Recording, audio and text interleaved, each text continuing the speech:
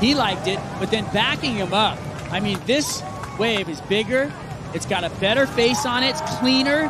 His turns are tighter. I mean, watch this one. Rah, right under the lip. And then this, the follow up. Slam right into the lip line. That's dynamic. And we haven't seen a whole lot.